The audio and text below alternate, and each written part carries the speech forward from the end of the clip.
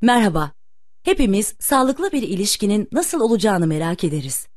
Ve sağlıklı bir ilişki yürütmek için de her türlü yolu dener, türlü türlü yerlerde paralar harcarız.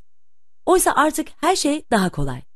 Sizlere sağlıklı bir ilişki yürütmek için neler yapabileceğimizi tam da burada anlatacağız. Umarız ki yararlı olur.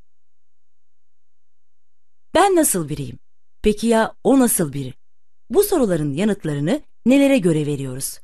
Sinirli, neşeli, yardımsever, arkadaş canlısı gibi sınıflandırmaları nelere göre yapıyoruz?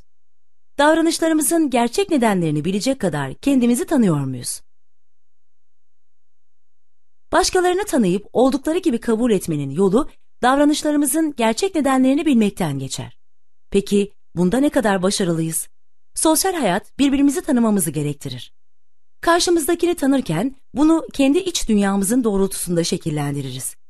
Kendimizle ilgili sorunlar hep bizim için daha önemlidir. Ve biz farkına varmadan bu sorunlar hayat ve diğer insanlar hakkındaki yargılarımızı belirlerler.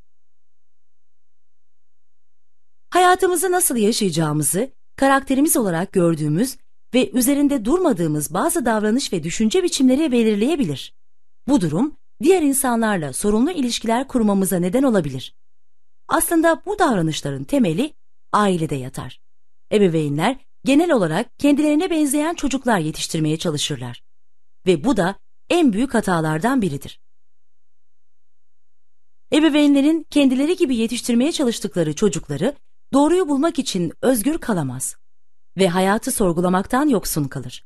Kendi düşüncelerini geliştiremeyen çocuklar ebeveynlerin düşünce tarzını kopyalar.